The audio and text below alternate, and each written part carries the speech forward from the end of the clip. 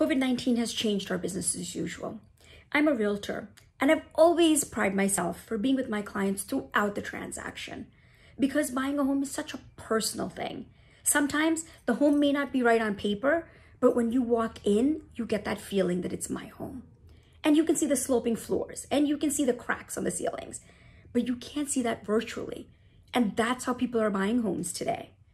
For the inspections, the buyers can't be there. We can't be there because the inspector wants to be there alone. For the walkthroughs, most of them are virtual. For the closings, the attorneys don't want us there. This is temporary. I couldn't be happier. I want to go back to business as usual. I want to handhold my clients. I want to be with them for everything. We're dealing with it because this too shall pass. How are you handling your business changes? What are you feeling about them? We would love to hear from you.